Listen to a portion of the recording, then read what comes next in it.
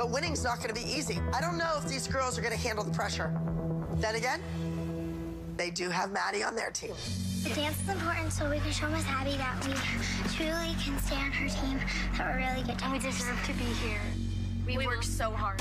I'm a bit nervous about the group. A lot is riding on this performance, so I want them to go out there and show what they can do and to kill it. This